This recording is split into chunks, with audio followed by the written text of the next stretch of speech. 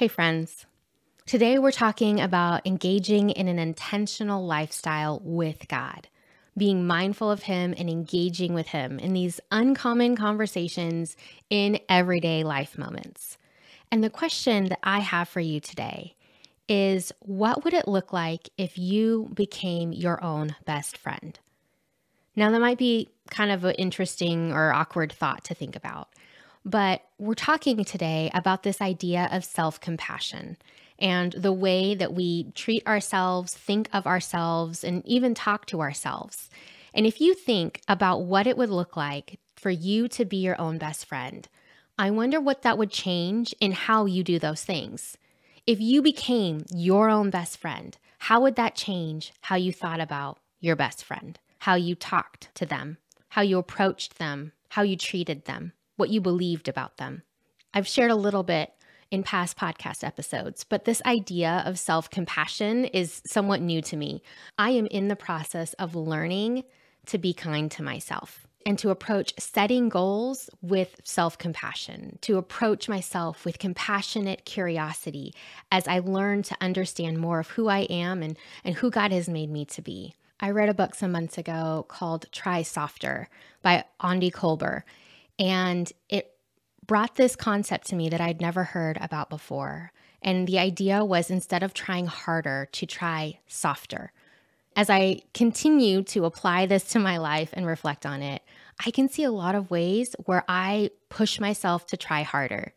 I don't have a lot of self compassion or kindness or gentleness toward myself when it comes to goal setting or areas of growth or improvement even when it comes to executing things in my daily life, I tend to be pretty hard on myself, or at least I used to be. I'm working to change that. In Matthew 22, Jesus is teaching. And in verse 37, he teaches the greatest commandment to love the Lord your God with all your heart and with all your soul and with all your mind. And then in verse 39, he says, A second is like it you shall love your neighbor as yourself. I wonder what that would really look like for me to love my neighbor the way that I love myself. I wonder if that would be less love than what I currently have for my neighbor, if that would be less kind, less gracious, or less compassionate. I want to elevate the way that I care for those around me if I were to love them the way that I love myself. And so I'm in this process of building self compassion, that I would treat myself with kindness. In 2 Corinthians 12, Paul is talking about the thorns in his side. And picking it up in verse 8, it says, Three times I pleaded with the Lord about this, that it should leave me. And then in verse 9, but he said to me, My grace is sufficient for you, for my power is made perfect in weakness. Therefore, I will boast all the more gladly of my weakness, so that the power of Christ may rest upon me. I often remove myself from circumstances that require self compassion and that allow for Christ's power to be at work in me in this way.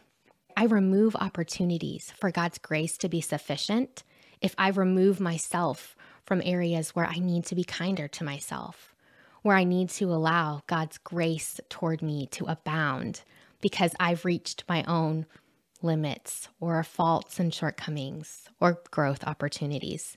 And so today, we're bringing this conversation of self compassion to God and asking Him what this would look like for us to walk in it in a greater measure as we navigate our days. And so here's our question God, in what ways have you shown me compassion and grace when I've been hard on myself? I know He has things He wants to share with you, and greater grace and compassion that you'll get to walk in and receive for yourself. Have a good talk.